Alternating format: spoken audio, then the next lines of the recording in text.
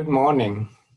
My name is James Theuri. I'm with the University of Illinois. I'm a small farms educator based in Kankakee, Will, and Grundy counties of the University of Illinois. Um, and I'm based in Bourbonnais. Today we're going to talk about cover crops in small gardens. I did receive a comment from uh, one of the registrants that they thought that cover crops are just for, for large scale farmers, field crop farms and so forth. But uh, as we shall see today, it's also for a backyard garden. Any piece of ground can be covered using cover crops. And so let's begin by defining what a cover crop is. They are plants that are planted to cover the soil rather than for the purpose of being harvested. In other words, the goal is not to make money out of them. It's not for our food, it's actually for soil food. We're trying to enrich the soil more, and that will become clear as we go along. And yet, another definition talks about a crop that's grown for the protection and enrichment of the soil. So you have a picture there showing a cash crop. And in between the rows of that cover crop, instead of leaving that bare for the sun to be scorching the ground and the earthworms escaping the heat by going deeper into the soil, plant something else so that that ground is not left bare. In other words, we are behaving like Mother Nature. Mother Nature, if a ground is suitable for something to grow, she will plant something. We may call them weeds, but she's just making sure the ground is covered, and that's how it should be. That's what we are practicing. We can start by talking about the advantages of cover cropping and these four cartoons here show us what cover crops can do. And throughout this presentation, the question will always be, what do you want your cover crop to do? You've probably done a soil test or you know from time, you know, uh, yesteryear and the year before that your crops are not doing great and you suspect that your soil is not good enough, is not rich enough with nutrients. In other words, the soil quality is poor. But in recent years, because we've always thought of soil as an inert or dead entity, we've changed the term quality to soil health. Now we know that only living things have health. And we want to think about soil as having health too. And if you didn't know it, there is more life underground than above ground, whether it's by numbers, actual numbers. You just need to take a teaspoonful of soil and it's teeming with bacteria and other microorganisms. So there's more life underground than above ground.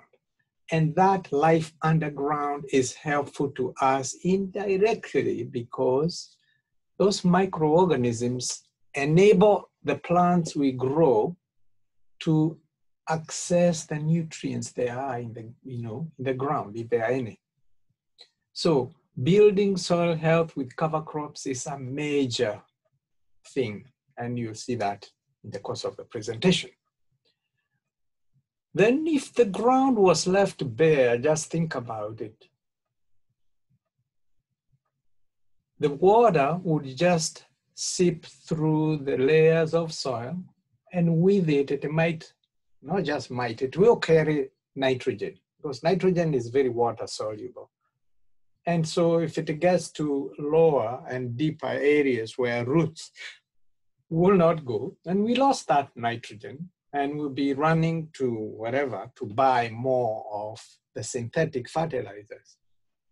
You can stop that from happening by having cover crops which you scavenge or sequester or absorb or grab those nutrients that would otherwise have been lost in rainwater.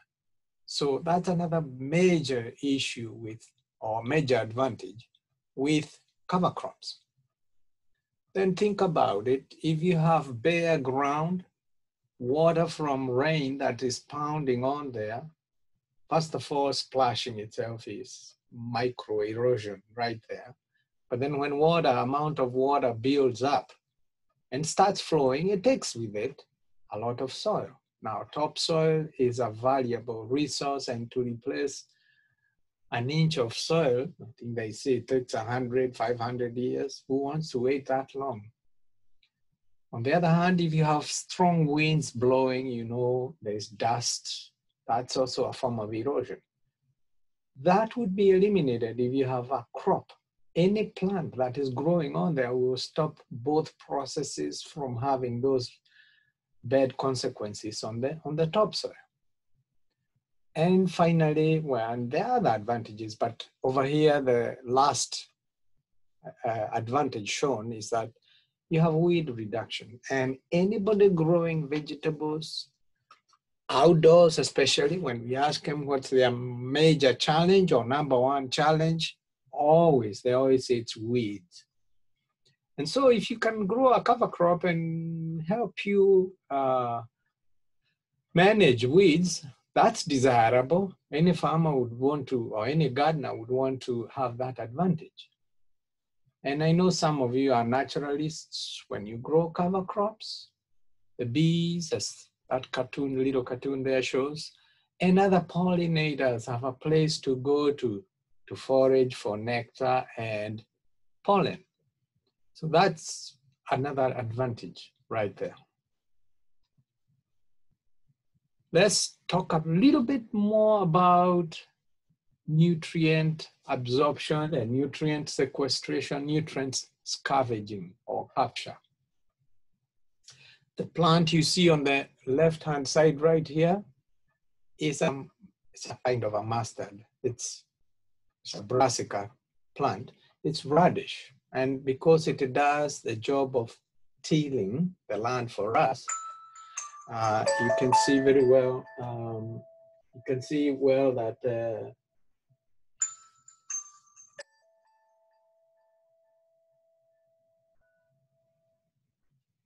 you can see very well that it is absorbing all these nutrients. N, N is nitri N is nitrogen, P is phosphorus, K is potassium, S is sulfur, C is calcium, all these would probably be wasted away if this plant didn't grow. It needs all these for it to grow. So it will capture them. And what happens in winter? It dies because it cannot stand the uh, winter time temperatures. In its place, a channel is left.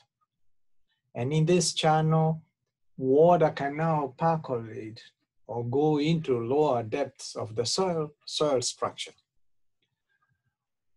Besides, it's going to decompose and decompose very fast. And so these nutrients are available for the next crop that you're going to grow. And the roots will have an easier time going into the lower levels because channels have, also, have already been made there.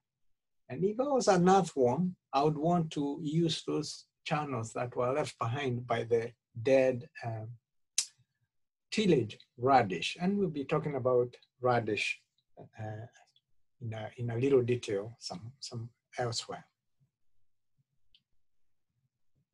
We know that when we grow crops, they absorb nutrients, they absorb nitrogen.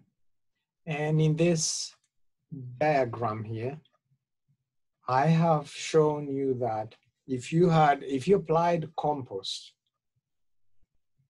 to your garden, you'd have enough, like seven parts per million of nitrogen in the soil, and that would be your maximum.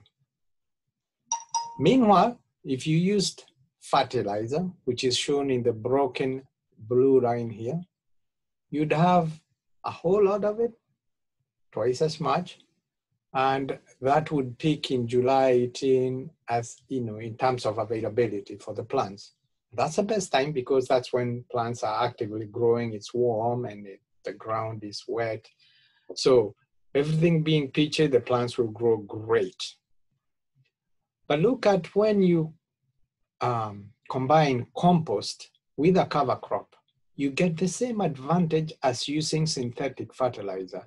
Indeed, the nitrogen becomes available sooner. May 12, you already have nitrogen becoming available as opposed to it being more available with the synthetic fertilizer like in June, right here. So there are two advantages here.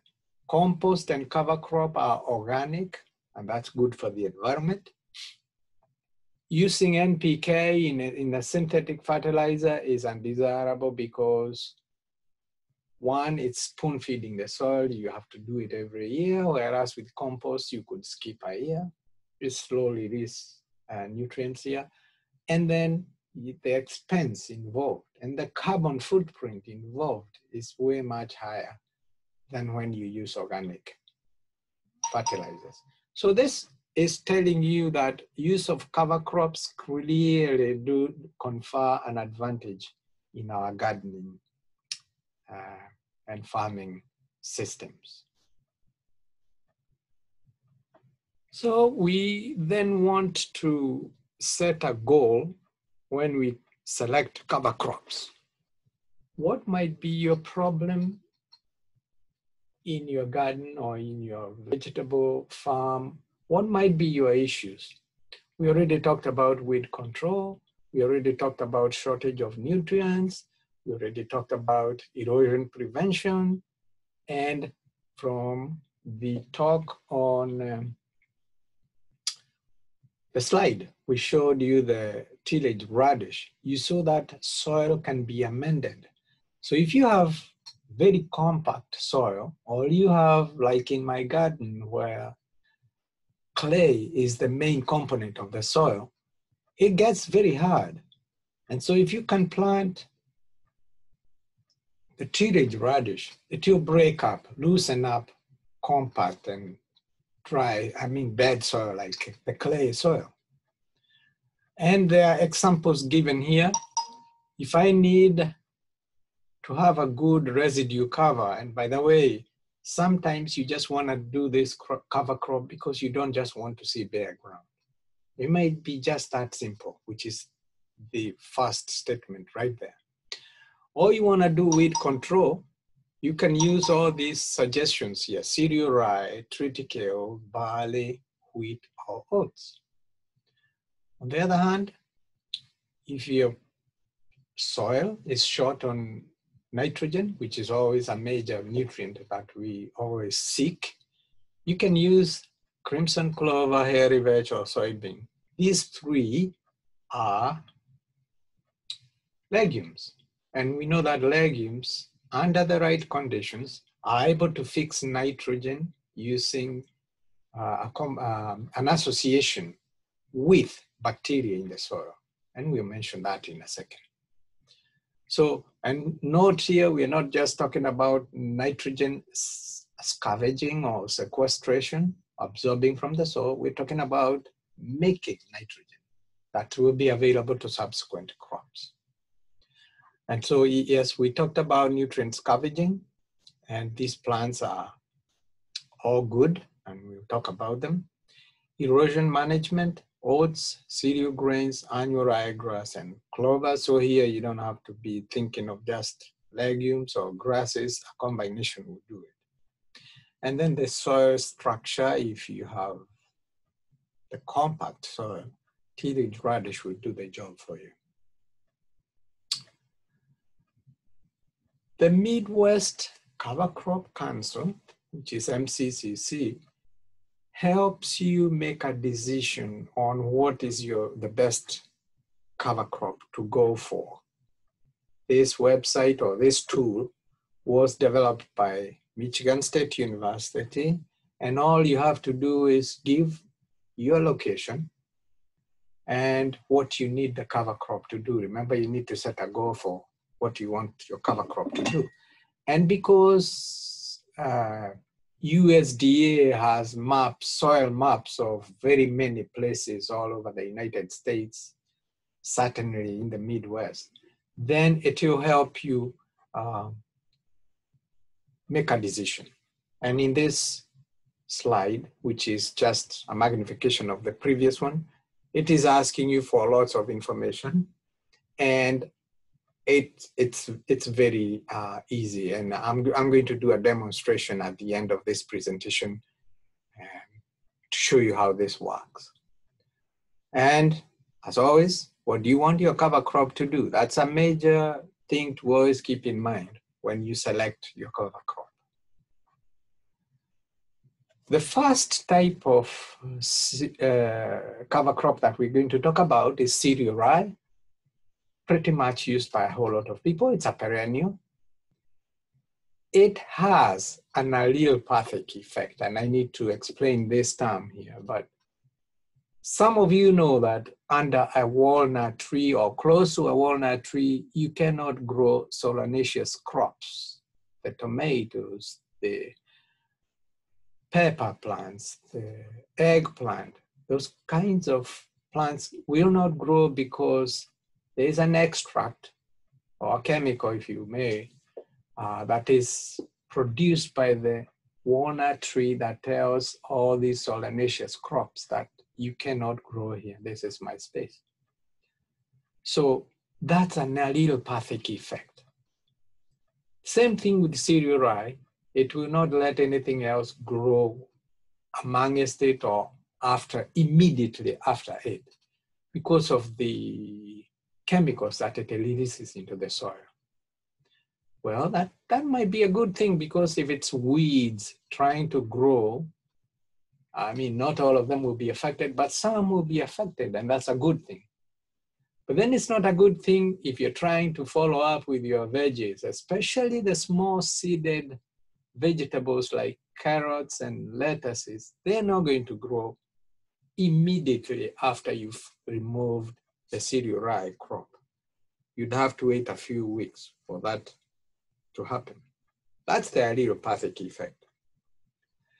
It's a great soil builder, not as much as other rye grasses that we are going to see because most of its energy is concentrated in the upper portion of it, the plant that is, and more foliage is produced than the roots.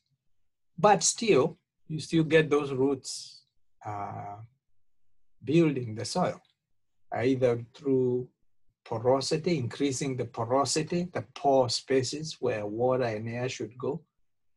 Or even um, you can think of just the organic matter produced by the roots as well as the upper portion of that plant. It's a great nitrogen scavenger, so you get that quite a bit. It has more biomass than other small grains, which is good. We just talked about it putting its energy more into the foliage. And that's great for organic matter. An issue might be voles. Well, if I was a vole, I would want to stay in a place like this because it's well protected from predators and it's cool. I can find food there. I can raise a family there without too much of uh, having to worry. So yes, that might be an issue, but you cannot win all the time. It will root deeper than some other small grains. Okay, we'll give it that. And then imagine that uh, biomass that you are seeing top right hand picture here. If it's fly, uh, if it is fallen over and just left on the ground to lie and decompose, and you come along and plant your pumpkins, cantaloupes, cucumbers into it because it will be a good mulch. You will not get your fruits dirty. And then when you walk in there, it's not muddy. It, it's a good, it's a good thing all around. In spring, we said this is a perennial. So in springtime, when you want to get ready to plant, you want to kill it. And you can mow it, you can till it under.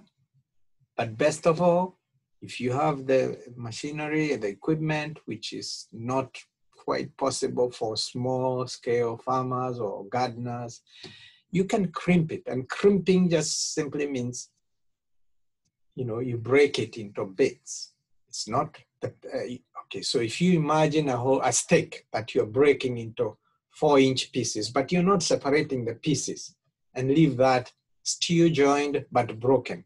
That's what crimping does. And you've driven over grass with your car, I'm sure. And what you do where you drive, the grass is flattened.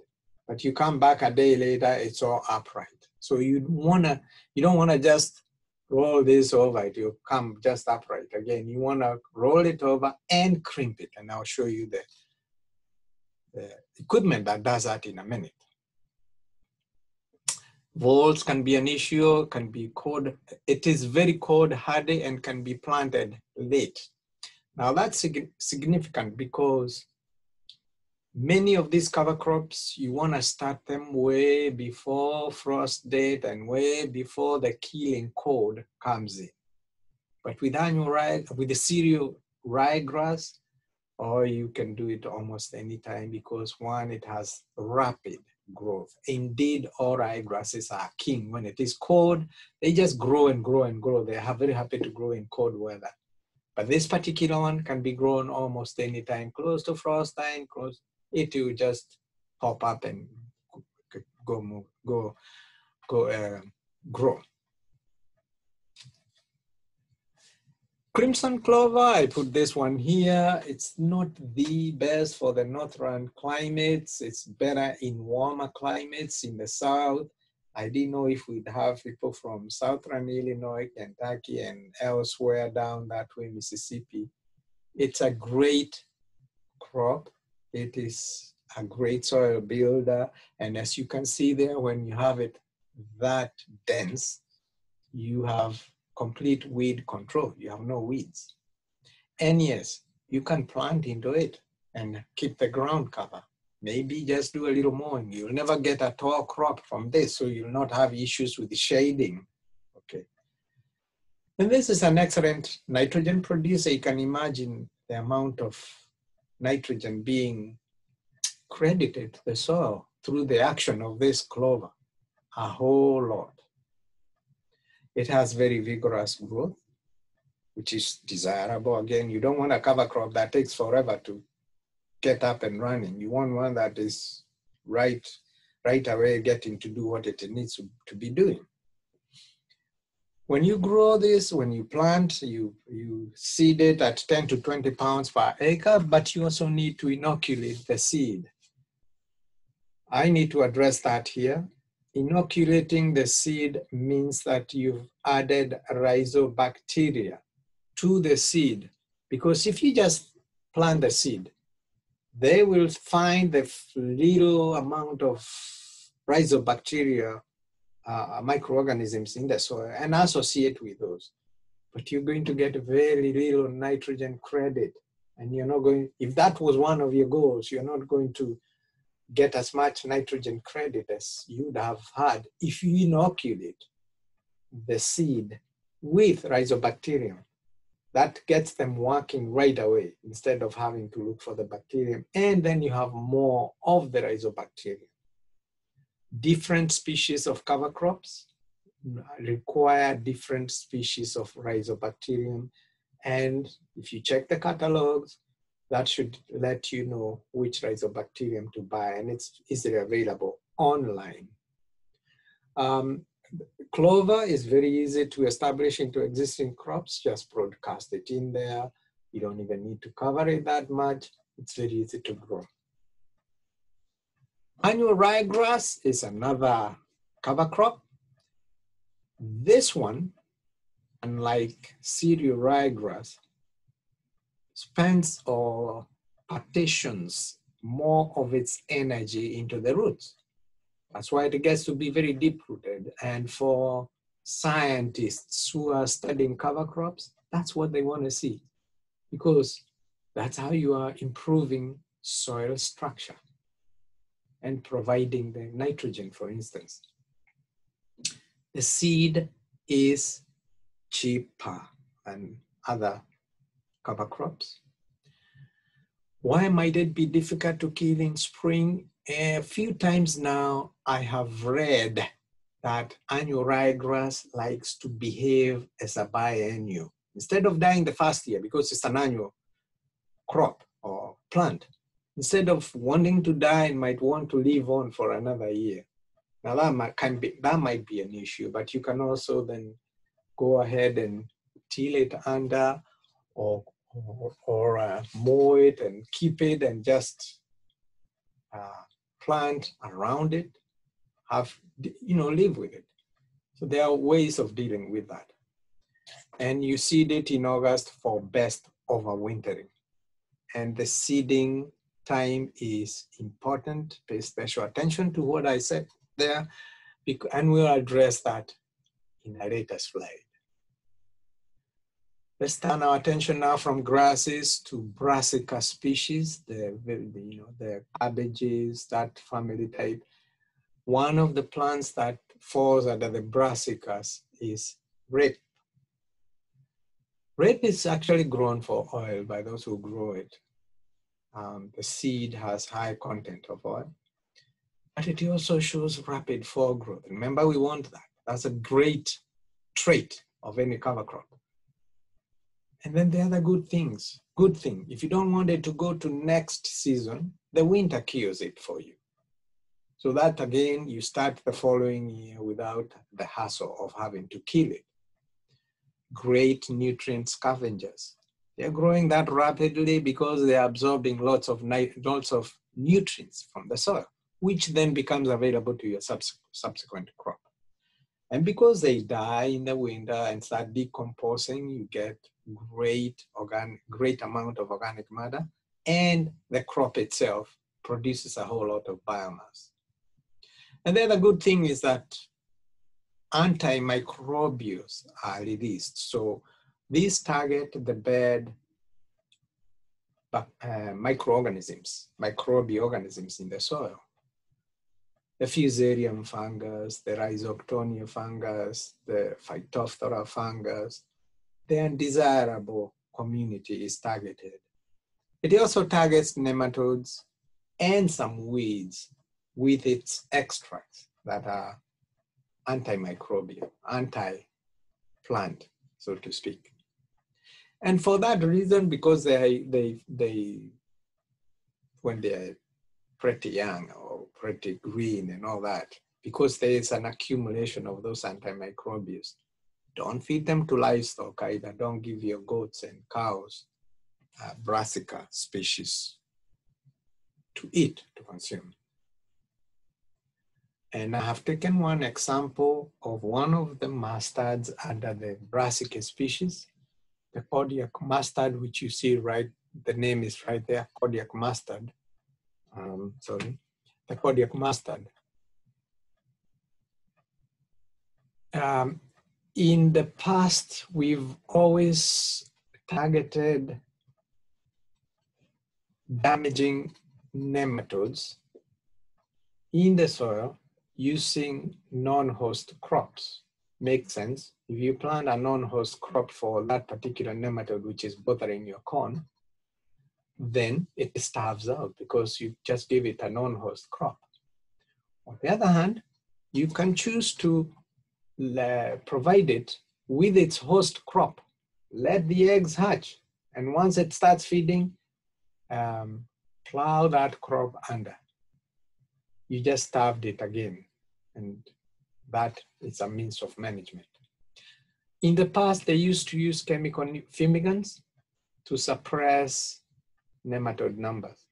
Now, methyl bromide and other fumigants that were supplied to the soil, very expensive affair, very dangerous chemical to anybody, to any, you know, it was bad for the nematodes, it was bad for humans. So that wasn't the best alternative. These days, we have biofumigants, which we also call biopesticides, bio meaning life. Anything that is extracted from life would be a biological extract. In this instance, these extracts could be pesticides, so we call them biopesticides. And must, mustards do have that capability to produce biopesticides, which are now being used to control nematodes. That's what you're seeing on the right hand uh, diagram over there. In the brassica tissue, you have glucosinolates, which if you allow the crop to grow and then chop it either by mowing down, you rupture the cells and they end up releasing a volatile biofumigant, which is also called an isothiocyanate. But you don't need to know that, just to know that there's a biofumigant, which then means this. Once you chop it down, it needs to be incorporated or plowed either into the soil so that the fumigation happens in the soil. So it's a bit more demanding, but it's okay for those who have equipment. And it saves you tons of money because you're not having to buy chemical um, chemicals to control the nematodes. And besides, it's good for the environment. That's what we want to see. We talked about crimping using a roller. This is a heavy metal roller, and as you can see, uh, it has this structure which I'm not quite so sure how to describe, but as it rolls, it crimps the, the stalks of, say, cereal, ryegrass. And that's what you want, so that the grass will not stand upright again. Is it available sometimes to borrow? Yeah, our community here was able to borrow one from USDA. I don't know if somebody else has it, they can let you use it. It's a one-time use. Your acre or two acres, you just do it one day and you're done. Getting ready for it. You'll die, of course. And then you're ready to plant whenever, whenever the time comes. Hairy vetch is a legume and it produces produces, it makes nitrogen, if I may put it that way. And for those people growing pumpkin crop, it's a great cover crop to go with. And you can do other crops, of course, not just pumpkins. Before growing it, before sowing it, planting it, you gotta uh, inoculate with bacteria, just like we talked about. Plant it in the fall, 30 days before frost date it will go dormant and then resume growth in the spring. And 20 to 35 pounds per acre. The range is dependent on your soil type. If your soil type is very acidic, I mean very sandy, do the higher level. And by the way, it's one of the better cover crops for sandy soils. It has a very deep taproot, which is great. Come springtime, monitor this crop very closely because as soon as you have 80% bloom or flower, kill it. Beyond that, if you let the flowers go to seed, then you have a new issue now of weeds and it will no longer be a cover crop. And you have more of problems. You can live with this. Tillage radish, we talked about it in the beginning, it does disturb the top eight inches of the soil through its aggressive growth. You see that uh, tuber there, or root, it grows wide and tall or deep. So it's great for compacted or clay soils if what is that's what you have. And this taproot can go four feet down, not the entire um, root itself, but the thin root that, that it leads at the bottom there can go up to four feet. And it's a great absorber of nutrients. And it will, it will probably provide some of those nutrients back to a subsequent crop. Research has not been done yet to show what how much of a nitrogen benefit is accrued because if that was known then you can you know they could be advising farmers that don't provide more than 60 pounds of nitrogen actual nitrogen because you're already getting that from this cover crop. That hasn't been done yet. But i would say it's a great great cover crop. And you see the whiter part of that taproot here is one that heaved out of the ground which means when it hit a very compacted layer down there and couldn't go down more, it started growing out of the soil, heaving out. And you can still see you have quite a few inches of what was in the ground here, maybe four, five, six, seven inches. Sorry. So that is still good. It's a great cover crop as far as I'm concerned. And those of you that were asking about no-till, I recommend this one. Maybe there are others, but this is one that is easy to grow. And if you don't want to do the uh, tilling, you want to do the no-till, then this is a great one. Another picture here just showing what happens the, as the cover crop roots die off to the radish, they leave channels. Those channels increase porosity, more water and air can go down there. And then the compaction is reduced. And new roots of the veggies, the veggies that you now grow after this can reach deeper, easier. No till where you don't till at all. Maybe you do minimal tilling, or maybe where you just do where with the hole you're going to plant whatever it is crop that you're planting is the only place you dig, you till, you do minimum tilling. What's the benefits of doing that? Your fruits are cleaner if you use the cover crop that will help you uh, with provision of a mulch we talked about cereal rye or even annual rye will provide you with a mulch if you don't till it under. If you just crimp it, then it will still be available for the crop that you're growing. Great for weed control. You don't have to worry about it now if you're doing no-till, so you're not interested in uh, weed control because it's already done for you. The legumes will give you nitrogen, Remember hairy vetch will give you quite a bit of that. When you're walking, you're not getting your boots muddy and wet. And then for those of us who are naturalists, the insect pollinators are having a great benefit. Cute buckwheat is great. By the way, it's a one, by the way, has nothing to, it's not a wheat. It's not related even to wheat. It's just called buckwheat and it is a great crop to grow in the summer. Very fast growing, very very easy to kill, um, decomposes very fast, and uh, the pollinators love it.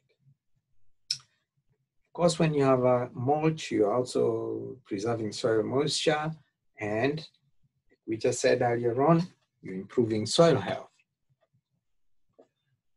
So again, what is your cover crop for? Choose cover crops that address your need. Can it handle problematic soils? Remember, it could be compact, it could be clay. Will it thrive in fall? And will it thrive in early winter? Maybe not necessarily those two combinations. If it is hairy vetch, yeah, it will thrive in the fall and in early winter. So will cereal rye as well as annual rye. All those will do that. But if uh, tillage radish does the job you want it to do, reduce the compaction, even if it doesn't go to next year, it's not an issue. So consider all those factors. Um, I put in there that oats are easily available at the local feed store and they are cheap. We've grown those in our extension office behind there. There's a little garden. We always just grow them, and all we do is broadcast by hand, or sometimes I made a row of it, rows of uh, planting. But either way, ensure that you cover the crop with soil or just put in straw on top of what you just broadcast. You're preventing the birds and the mice and the voles from coming to feed on the same seed you just planted. So um, it's easy to grow them. When do we plant? Because you talk to any of the researchers that are dealing with cover crops, timing is everything. You plant too early, the, the, the crop will maybe mature before the cold uh, part of the season comes in. And if it blooms, now you, you have production of seed and you have a new issue of weeds. You don't want that.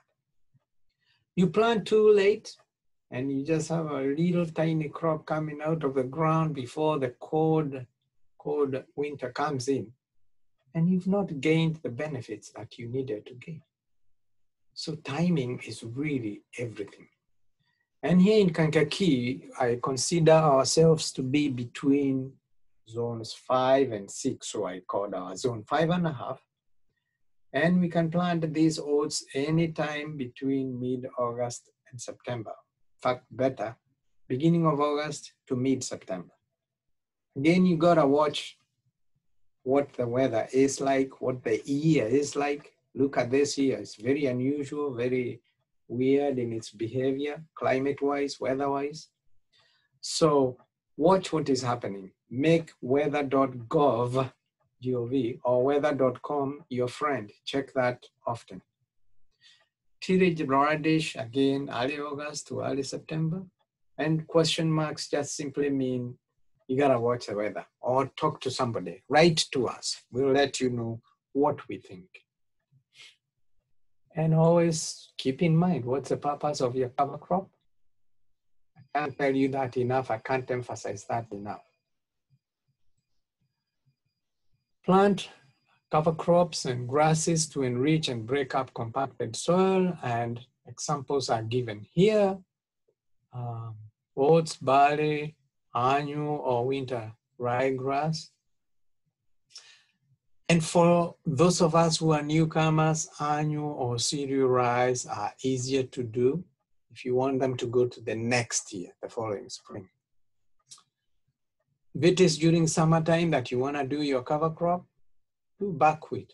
And I also wanted to say buckwheat is also great again in sandy soils. I've seen it growing vigorously in sandy soils.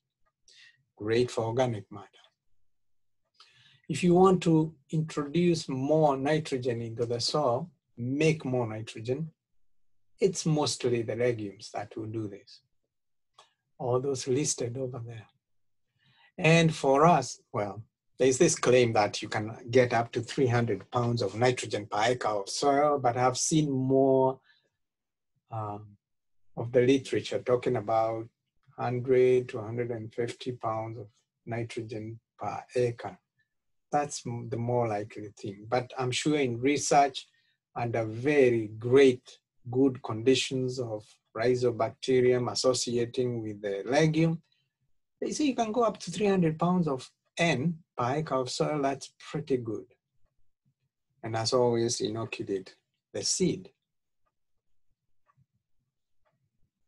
For us newcomers, I really recommend you use peas, the field peas. It's needs a crop to grow. And I've had somebody say actually they grew those and because uh, the seeds are produced in ponds, it's very easy to just wait and the ponds, you harvest those when they are pretty young for food. You get the best of two worlds there. The brassicas, we've already talked about them, and their advantages. Um, other crops, buckwheat accumulates phosphorus, and I think I also read that it also accumulates potassium in soil. So if you are to do your soil test and find out that your K and P are in short supply, consider buckwheat. For those of us who are naturalists, add the phacelia to attract the pollinators. And because we've talked quite a bit about the advantages of cover crops, can you combine the, the nitrogen producers with the nutrient scavengers? Can you make a combination? Yes, you can. Remember, the only one you cannot combine with anything else is uh, perennial rye, the cereal rye. It's called a cereal rye because it looks a bit like wheat and produces lots of biomass above. That one cannot be combined with anything else because you remember it has the allelopathic effect. But other combinations, and I put one here that any back, back, backyard gardener can use, is field peas and oats, both cheap and easy to plant. And the picture on the left there is Phacelia, and on the right is buckwheat, attracting a bee. And I've shown you a picture of another easy combination where you can grow bachelor's buttons and crimson clover. The bachelor's button will sequester, will scavenge the nutrients, while the crimson clover will actually make the nitrogen if you had inoculated with rhizobacterium. And you can see that soil down there, the roots are growing uh, freely, going deep and wide the earthworms are having a great time.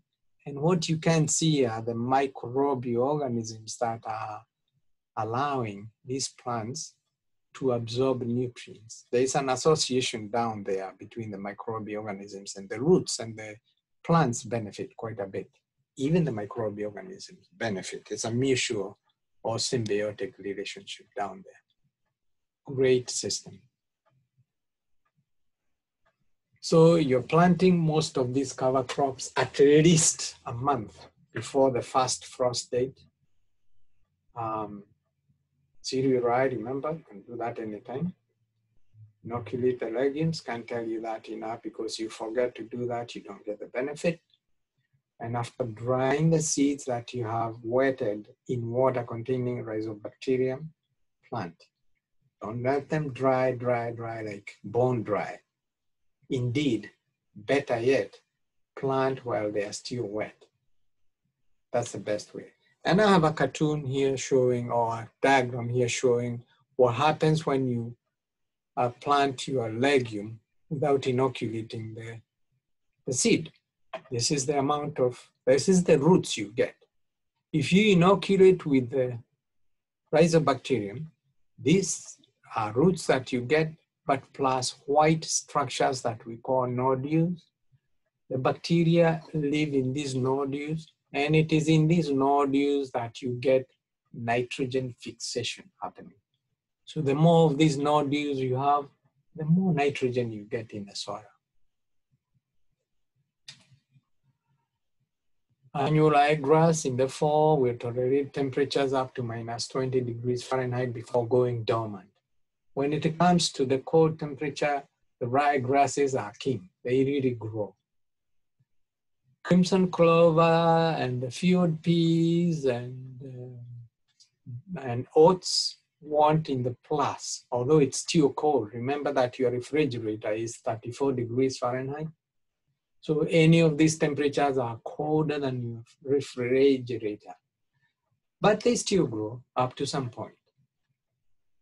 If your soil is salty or dry, quite droughty, barley will grow pretty good. Fava beans will grow eight feet tall. How much better could it be for your organic matter production?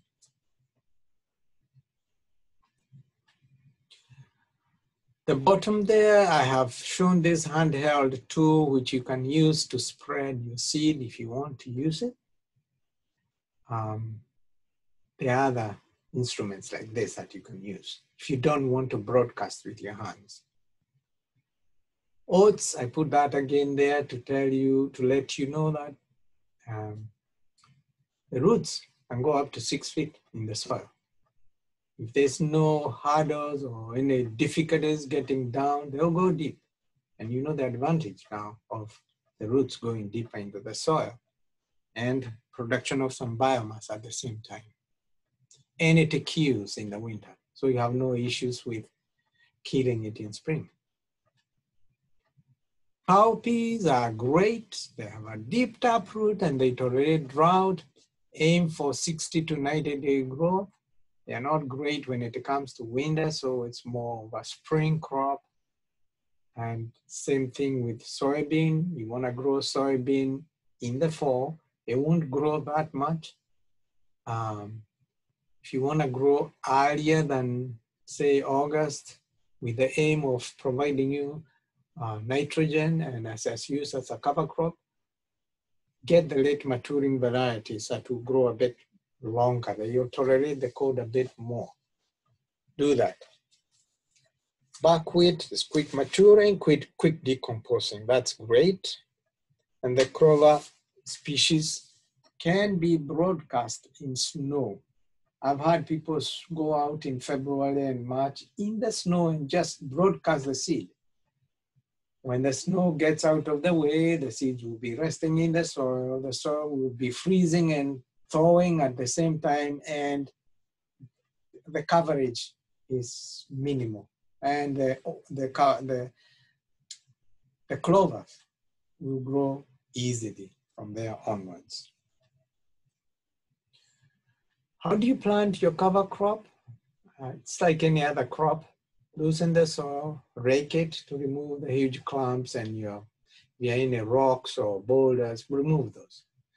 Then you spread the seeds evenly and liberally. Remember, you're not planting a, a crop where you, you're worried about the spacing. Just get a dense mat of this crop check your packet for instructions. How much should you put per acre or per unit amount of space that you have? And then you can cover the seed lightly with soil. Remember, these are very small seeds.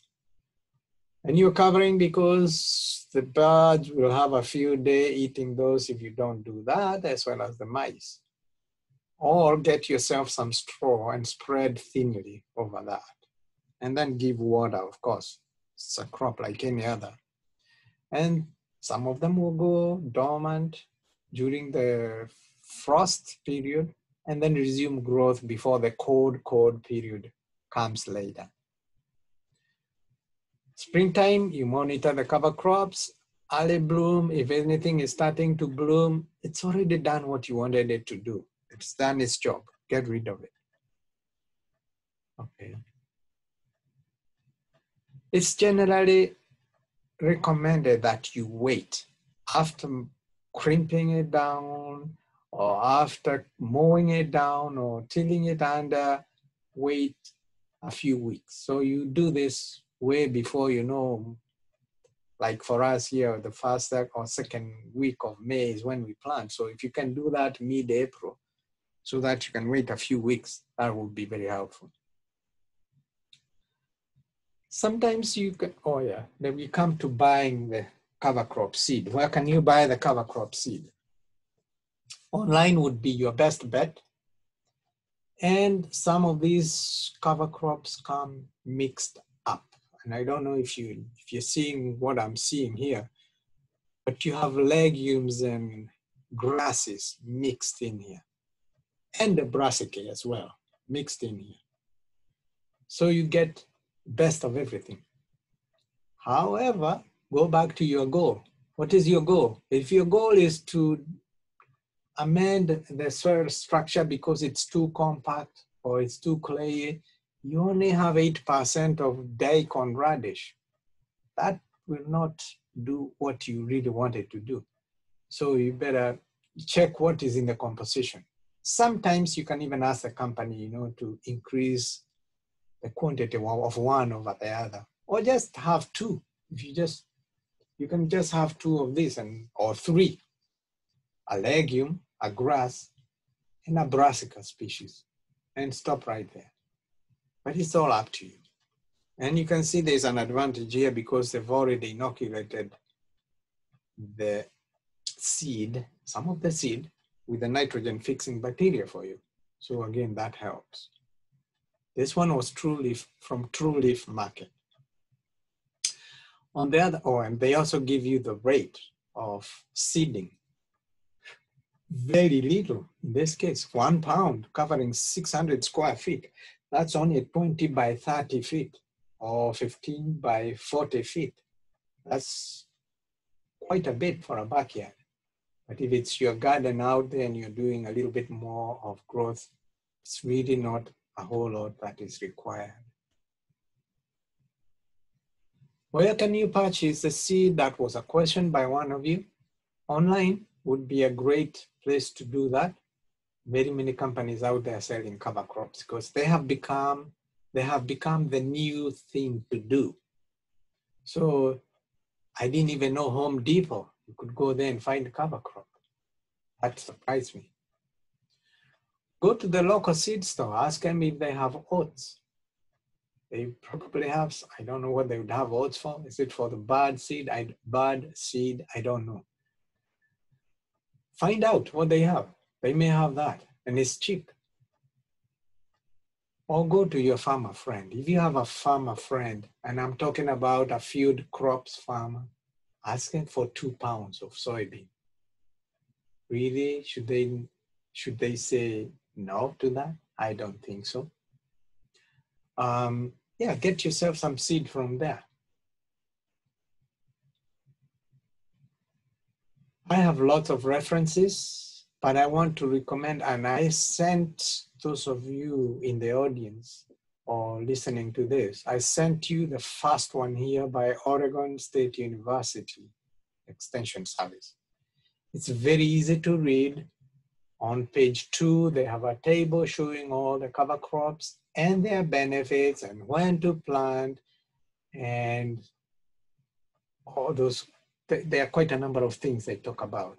I found it easy to read and nice, uh, nice to uh, to look at.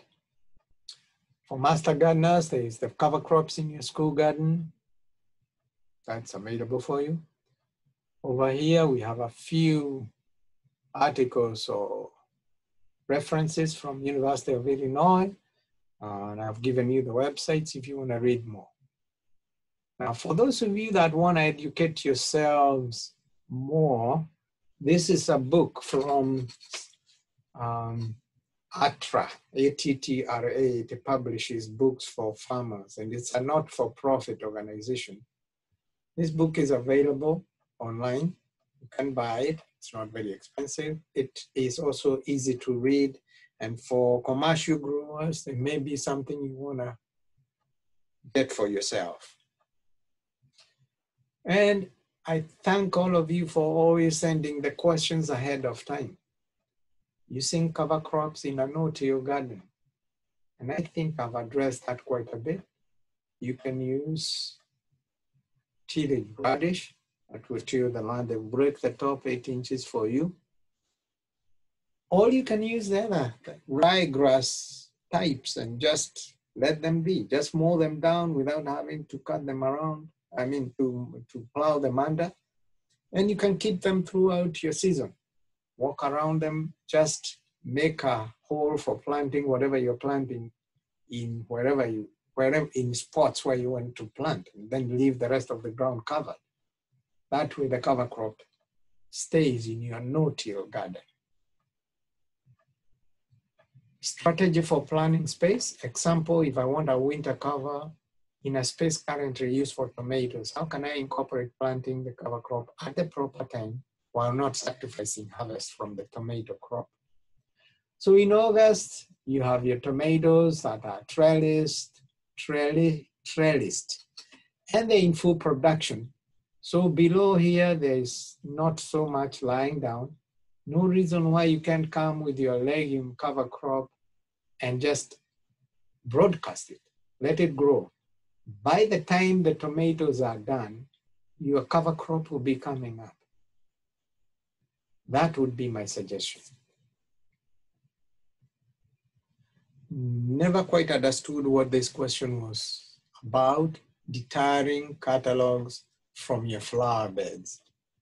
I would like the person who asked this to get in touch with me. My email is at the end. Make it clearer for me. I'm not quite sure what that is. Recommended species and mixes, termination of winter hardy species, planting methods. Again, I addressed this during the presentation, but if it wasn't well addressed, please let me know and I'll get back to it. Considerations for clay soil or compact soil. Uh, my one go-to cover crop is tillage radish. in addition to collecting the leaves that fall off from your maple trees and other oak trees, put them in the garden. You get your soil amended over time. And I'm not talking about a year or two years, it will take a few years. Always put organic matter back into the soil. In fact, some people say dig a trench. Put all those leaves in a trench so that this season you plant where you didn't dig. And then next year, plant where you had made the trenches and keep doing that. Over time, you amend your soil. How long before planting after it's turned over? Let's go with two, three, four weeks. That will do it. Rye, at least three weeks, no question about it. Where to buy and acquire small quantities of seed for cover crops for a small plot. Online, they're selling a pound, two pounds. I'm sure if I went to Pro Harvest Seeds here in Kankakee and I said I want two pounds of oats, they're going to get me those, or even two pounds of soybean. I think they'll give me that. I've done it. I've, I've done it before. So uh, go online.